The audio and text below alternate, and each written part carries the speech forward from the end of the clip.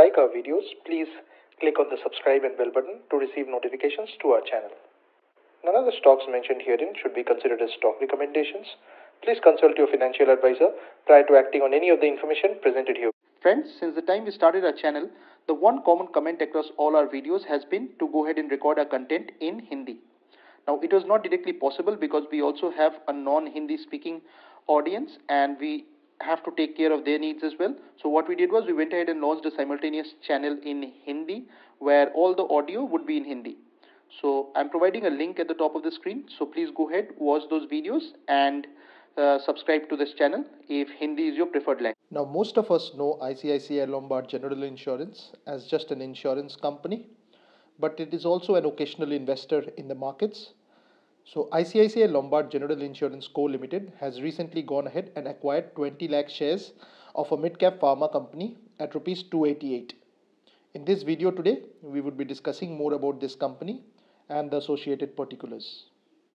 Now the name of the company is JB Chemicals and Pharmaceuticals Limited. Now the stock is available at a price of 284.15 on the National Stock Exchange. The symbol for the stock is JBCHEPHARM. Now JB Chemicals and Pharmaceuticals Limited is a pharmaceuticals company. The company manufactures and markets a range of pharmaceutical formulations, herbal remedies, and active pharmaceutical ingredients which are also known as APIs. The company's business segments include domestic formulations business, exports and the API business. Now if you were to look at the one year chart for the company you would see that the stock has been an underperformer has been had and has been on a downward trend for the major part of the year. The market cap for the stock is close to 2374.64 crores which means that the stock is a mid cap one. Earnings per share the trailing 12 months earning per share I would say is 17.17 which means that the stock is currently trading at a price to earnings ratio of 16.55 now this is much below the industry PE of 29.33 so the stock can be considered a bit cheap compared to its peers the book value for the stock is 166.04 which means that the stock is currently trading at a price to book ratio of 1.71 the face value for the stock is 2 whereas the dividend yield for the company is 0.35%. Now the dividend percent stands at 50. Now one important metric of knowing the company's future is by determining the promoter holding like how much confidence do the promoters have in their own company.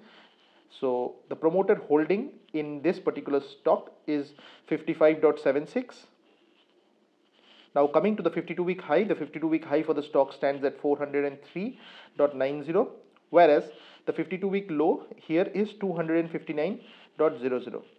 Now one important point that we want to mention here is that this stock also has a lot of other marquee investors. So one must be cognizant of the fact and be careful because any selling or buying on their part may greatly influence the price which is like uh, en enjoyed by the company on in terms of the national and the Bombay stock exchanges. So please be careful and perform your own research prior to acting on any of the information that is presented here. Thanks for watching and what we'll do is we'll bring to you more future videos of the same sort where we will show you institutional activity along with uh, buy and sell videos from some of the top marquee names in the Indian stock market. Thanks for watching and we will see you soon with another video.